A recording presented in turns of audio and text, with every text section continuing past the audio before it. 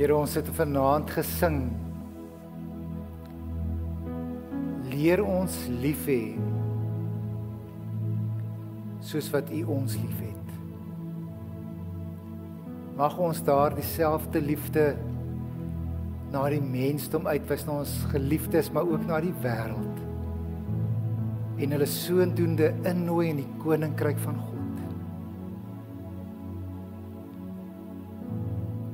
Ons het so behoefte aan u teenwoordigheid.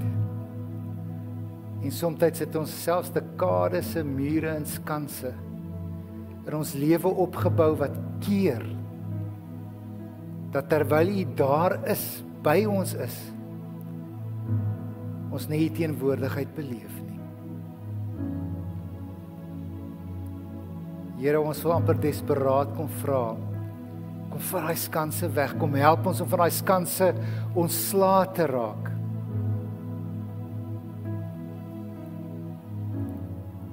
sodat ons kan beleef hoe U ons liefhet.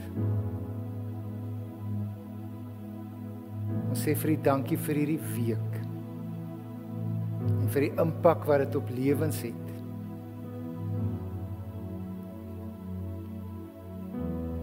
Here mag ons in hierdie aand weer eens deur die Gees aangeraak word.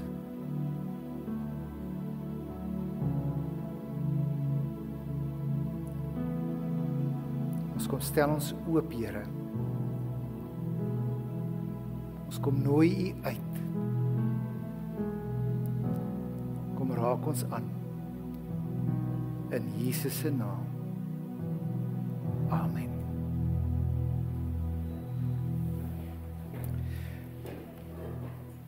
Julle kom ons gee vir die Here 'n handeklap vir die gawes wat hy in jong mense se lewens ingesit het.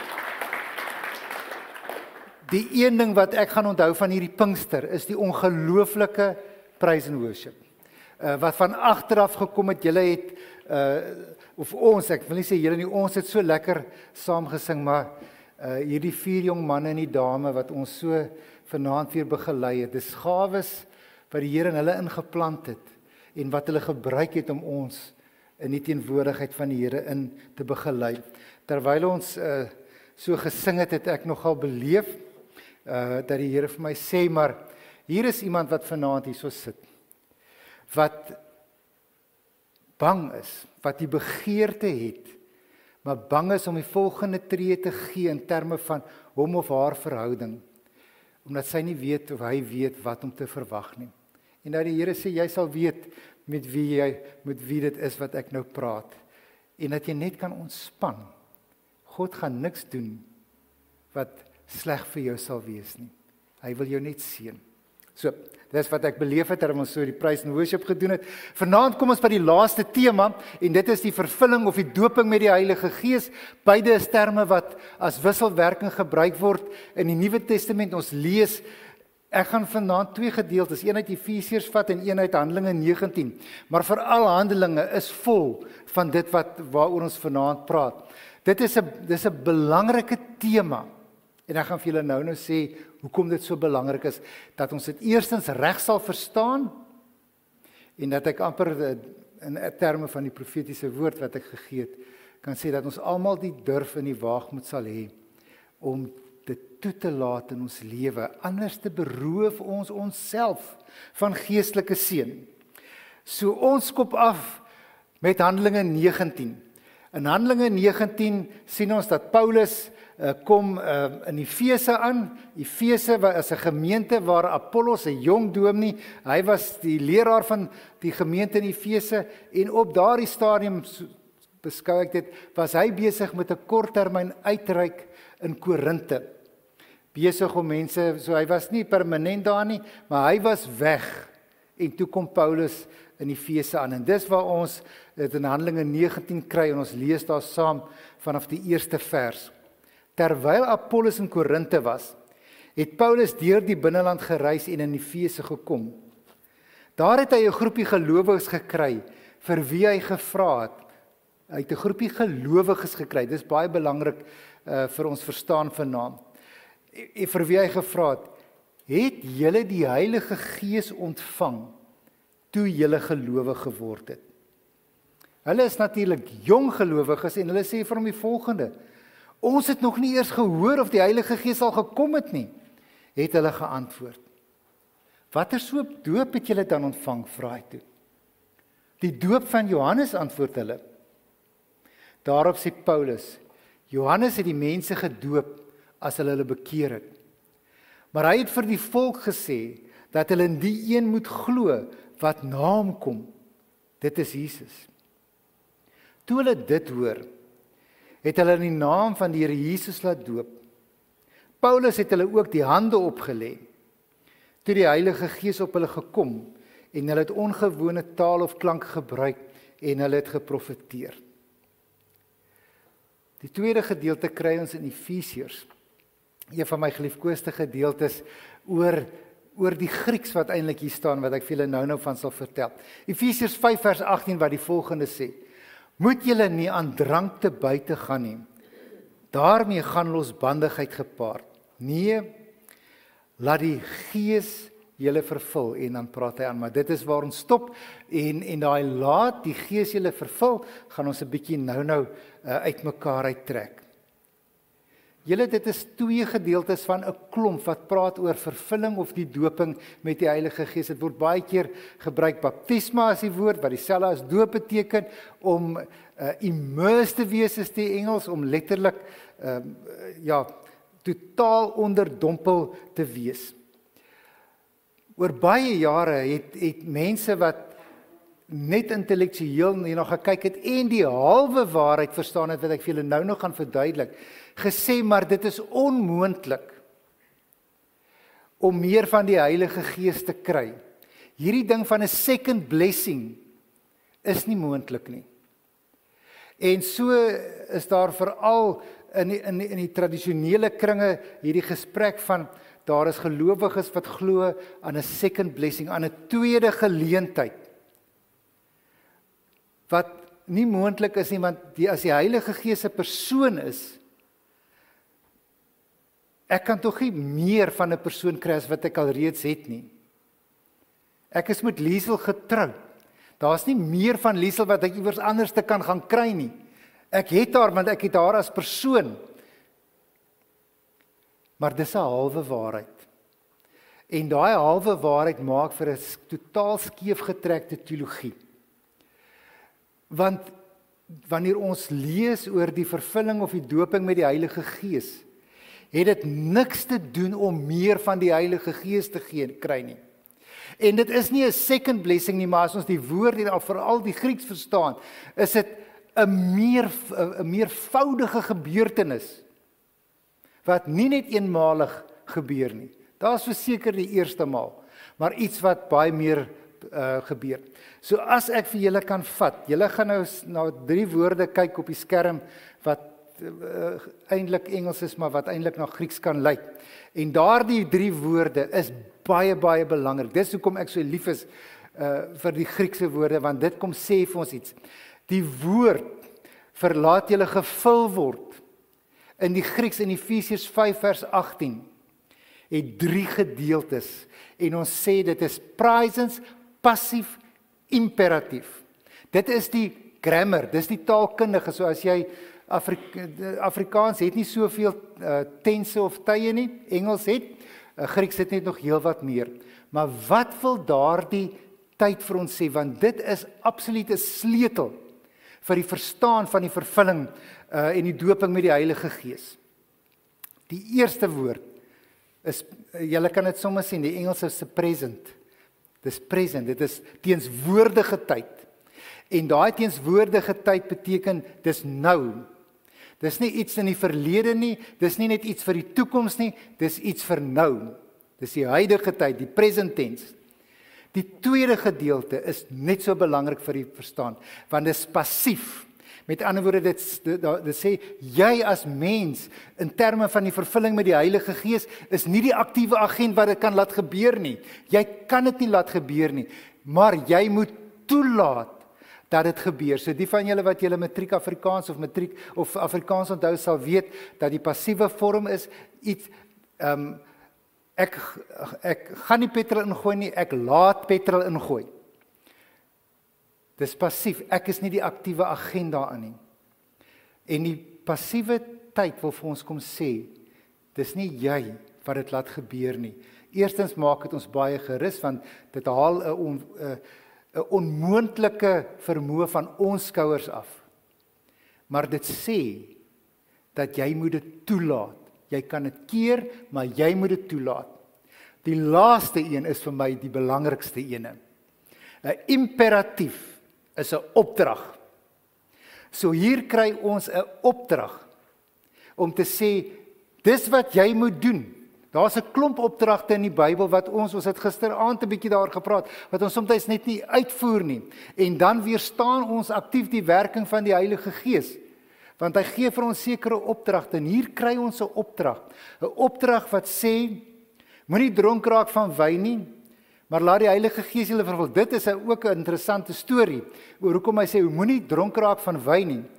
'n um, deel van uh, van my gesprek later oor as As iemand vir jou hande oplê en vir jou bid vir die vervulling of die doping met die Heilige Gees, wat kan jy verwag? Gaan ons hierdie moenie dronk word van wyn nie, so bietjie meer uitpak. Maar wat vir my belangrik is hierop, is dat jy sal verstaan, drie goed laat verstaan. Dit is iets wat nie eenmalig gebeur nie, steeds vorige tyd is meermalig. Dis passief. Jy is nie die aktiewe agent nie. Jy moet dit laat gebeur met jou en dis 'n opdrag. Dis 'n opdrag van die Here. En wanneer ons opdragte van die Here nie uitvoer nie, is ons of gehoorsaam of ons beroof ons verseën. Die Here sal nooit iets vir ons gee as 'n opdrag as hy nie wil hê dat iets met ons moet gebeur wat tot ons voordeel sal wees en tot wat die en tot die wêreld se voordeel kan wees nie. So om die vraag dan te antwoord is meer van die Heilige Gees moontlik wil ek vir julle sê dis die halwe waarheid wat sê nee. Dis nie moontlik om meer van die Heilige Gees te kry nie. Die persoon van die Heilige Gees wat jou getrek het na God, wat bekering en wedergeboorte in jou gewerk het, wat nou in jou woon. Jy kan nie meer van hom kry nie. Maar daardie Heilige Gees wil jou kom toerus. Ek het onlangs 'n uh, vir Liesel 'n uh, 'n Hoover elektriese battery aangedrewe. Jy weet mos hierdie battery bore en goeder wat jy kan kry, stofsuiertjie gekoop. Dis die wonderlikste ding, dis soos 'n besem wat opsuig. Hy's lig, jy hoef nie 'n groot stofsuier uit te haal nie, hy charge teen die muur. Sy een tekortkoming is hy 20 minute. Kyk in 20 minute kan ons die helfte van ons huis doen. Maar daarna moet hy vir 5 ure charge. Dit is hy moet hy moet dis hoe hy werk. Dis 'n fantastiese ding. Dit is regtig waar wonderlik. Kos 'n fantastiese prys ook, maar daaroor sal ek nie nou praat nie. Maar hy het beperkte krag en dan elke keer moet jy hom weer gaan inprop by 'n kragbron wat onuitputlik is. As ons verstaan dat die Heilige Gees vir ons sê dat wanneer jy God dien in jou eie krag, wanneer jy die mooiste dinge, die mooiste dinge met jou goeie hart as kind van die Here vir hom wil doen in jou eie krag, is jy soos daai hoeverstofsuiertjie. Na 20 minute is jy kapot. Dan het jy nie meer om te gee nie. En julle, hoeveel van ons kan nie getuig van tye, miskien is jy nou daar, van tye in ons geloofslewe wat ons net gevoel het Ek maak nie vordering nie. Ek maak nie kontak met die Here nie. Ek lees my Bybel. Ek bid, maar niks verder gebeur nie. Ek sit alles in. Jy hoor natuurlik wat is die buzzwoord? Ek ek ek. Ek sit alles in. Ek doen, ek bid. En die Here wil vir ons kom sê, kom sit jou jou energie, kry 'n kragbron wat onuitputlik is. En dit is waaroor die vervulling en die doping met die Heilige Gees gaan. Dit is dat God wil jou toerus deur sy krag tot jou beskikking te gee sodat jy hom kan dien en 'n verskil in die wêreld kan maak.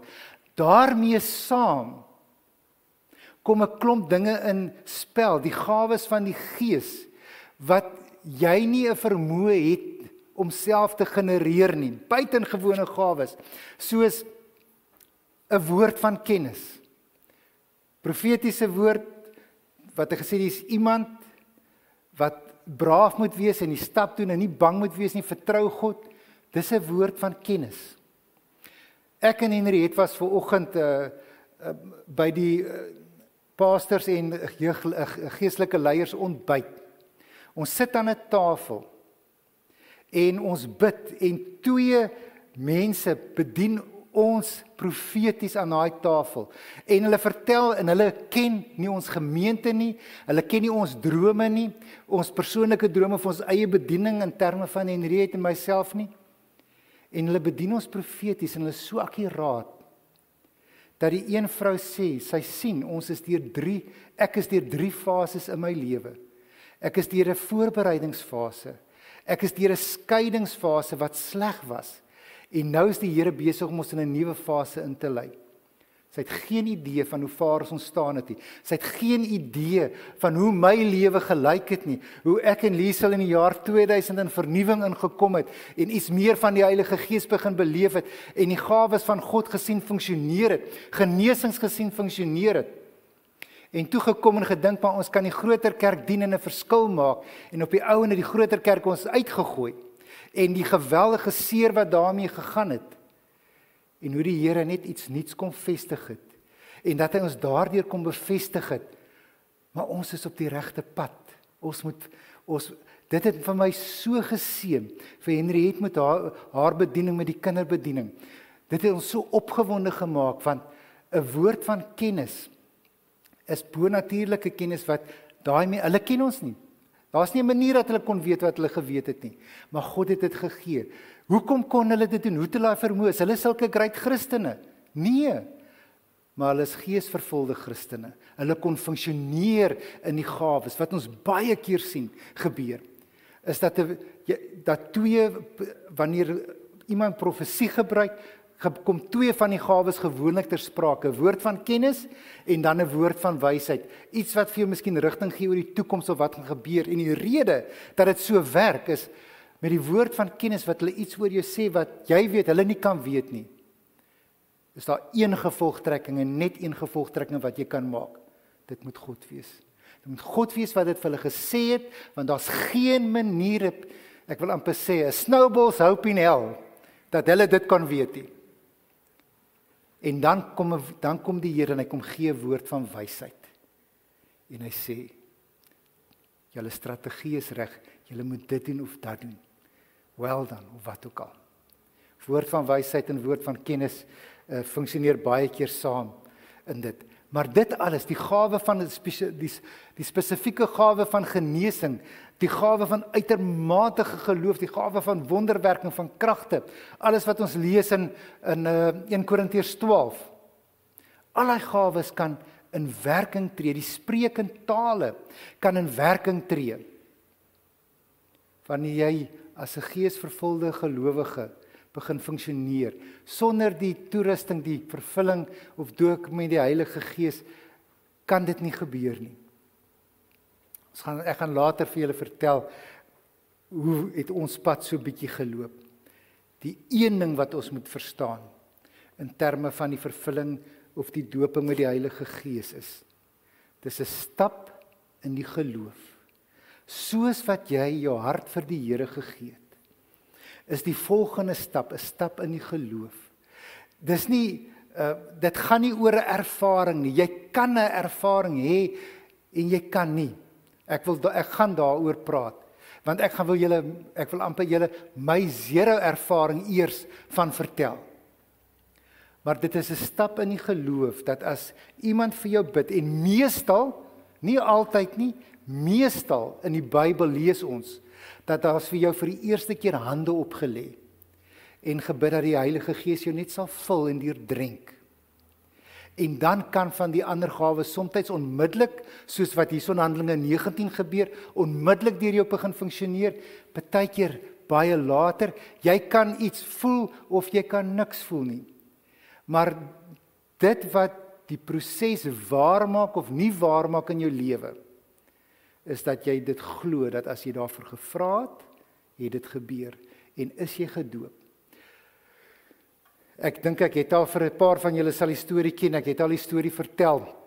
My eerste gemeente 2 weke voordat ek in Desember op verlof gaan, brand ek uit. Dat ek staan, ek sit in die konsistorie en ek bars in trane uit.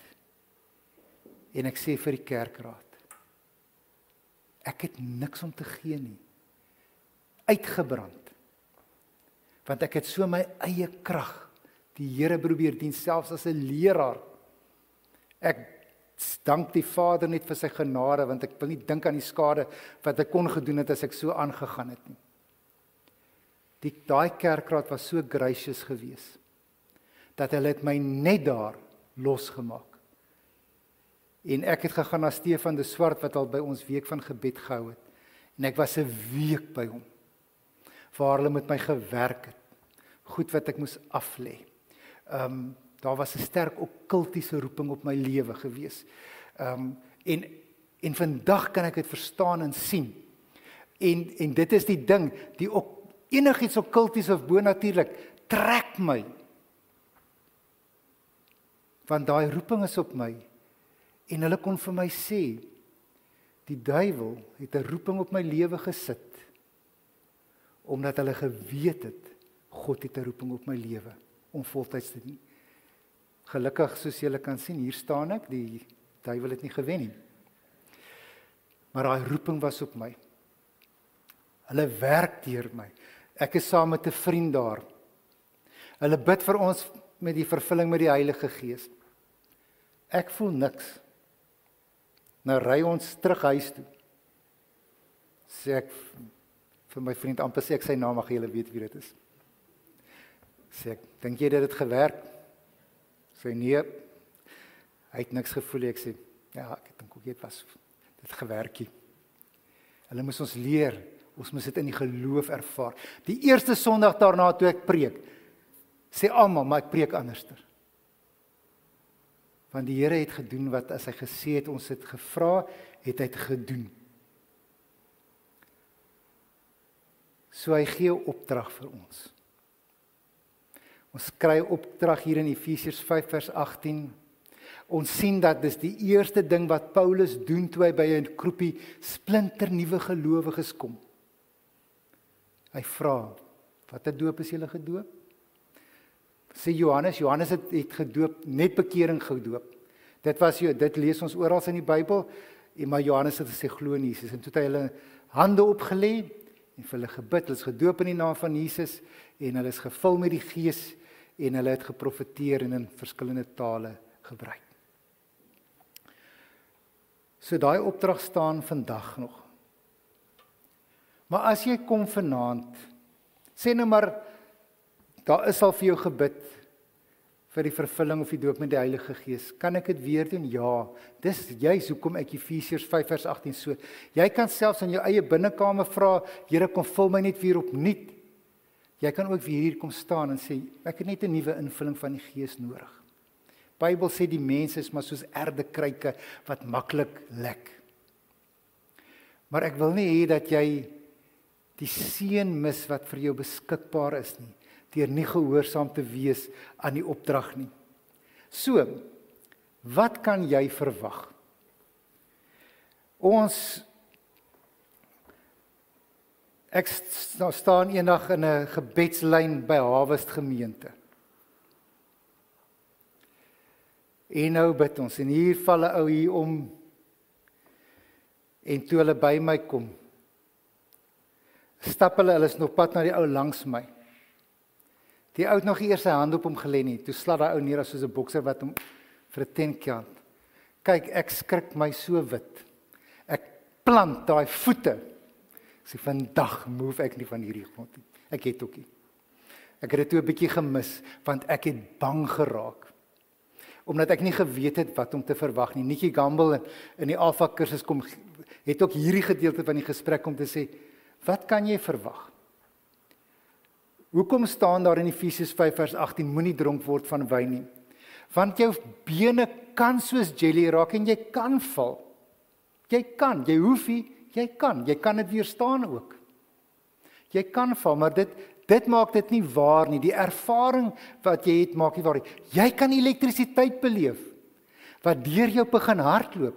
Jy kan vuur warm raak. Dat jy net tot 'n bare necessities sal uittrek en buitekant in die koue gaan staan want dit voel of jy soos 'n geyser is, so warm is jy. Jy kan ook net mooi niks beleef nie. Dan het dit nog steeds gebeur. So daar's 'n klomp goeters. Ons kan nie die Here inboks nie. Maar as iemand val, moenie skrik nie en moet ook nie wens vir 'n ervaring nie, want soms kan ons so op die ervaring gefokus raak dat ons die een mis wat dit vir ons gee en dis die Heilige Gees. Dis hoekom dit so belangrik is. Kom gisteraand begin het om te sê die Heilige Gees is 'n persoon. Dis waaroor dit gaan. Maar die Here wil ons verder begelei en hy wil ons seën en hy wil ons toerus met krag. So ek het seere ervaring gehad toe hulle gebid het vir my vir die vervulling met die Heilige Gees. Ek wou so graag 'n gebedstaal hê. Maande sit ek in bid in my stilte tyd en vra vir die Here. Probeer praat en as jy net jou mond oop praat dan gebeur dit. Niks gebeur nie. Kom ek vertel julle net gou-gou hierdie storieetjie van Liesel se een vriendin wat ook so baie graag 'n gebedstawe en nou bid sy ook so. In die een oggend sy sê Jesus kom daar 'n pad aan haar keel en iets kom uit en sy skrik as sy sê, "O, net nie nou nie, Here." so moet nou nie so ek wil nou nie sê jy moet nie sê, "Here, ek wil maar net nie vanaand nie." Ehm uh, enigiets kan gebeur. Ons kan nie God inboks nie, maar selfs al sou jy niks gebeur nie, het daar 'n radikale verandering in jou lewe plaasgevind en jy kan weer en weer gevul word en jy kan jou eie stilte tyd kom terug na my storie oor my eie gebedstaal. Ek bid oor die 6 maande lank. En in die tyd die e-, eerste keer begin ek net beleef ek tog my liggaam, dis nie net my been wat aan die slaap raak, tog is my hele liggaam wat aan die slaap raak. En hier begin hierdie elektrisiteitsstrome net deur my hart loop. En ek weet nie wat dit is nie tog reg as ek julle weet mos daai pins and needles is daar en dit raak net al hoe dringender en en so begin dit gebeur al hoe meer en al hoe meer tot ek besef maar dit is iets wat van God af besig is om met my te gebeur. Nadat ek niks gevoel het nie. En een oggend toe ek my mond oopmaak, toe gebeur dit en ek kan dit aanskakel en ek kan dit afskakel. Dit is so spreekentale werk. Ek kan vir julle sê, pastorande kesterendios esterende. Pastorande, ek het geen idee wat ek sê nie, want dit is hoe 'n buitengewone taal van die Here werk. Dit is ons gees wat met God se gees kommunikeer. En ek sal dit gebruik As ons dit nou in 'n erediens gebruik het, sou jy iemand moes wees wat die gawe van uitleg van tale het, wat dit vir ons kon uitlê. Anders kan ek dit nie verder praat nie. Dis wat 1 Korintiërs, kyk, Korintiërs was 'n charismatiese gemeente. Ek dink hulle het sommer net gespreek in tale, Here, erediens deur en niemand het verstaan wat aangaan nie. En toe Paulus 'n bietjie gekom en sê, "Nee, wat, hier moet 'n bietjie orde kom want julle stig net julleself. Iemand wat van buite af kom, dink julle gaan 'n klomp mal mense wees wat almal ernstige sielkundige hulp nodig het." En hy het so 'n bietjie vir hulle gesê hoe behoort dit te funksioneer sodat dit opbouend in die gemeente is, maar ook verder. En so het hierdie taal ontwikkel. So wanneer ek vir iemand bid en ek half nie weet wat is ek wat moet ek volgende sê nie, dan gaan ek oor in my gebedstaal en ek en ek want ek weet dat my gees kommunikeer nou met God se gees. 1 Korintiërs, ek dink is 1 Korintiërs 14 vers 14 kom sê dit so kom verduidelik dit so mooi. Laat ek dit net vinnig vir julle lees dis daarom die wonder van die Bible app. Ehm um, dit is dit wil vir ons kom sê hoe moet ons dit verstaan? 1 Korintiërs 14 vers 14. Ek laat ek laat net in die nuwe vertaling dit vir julle lees.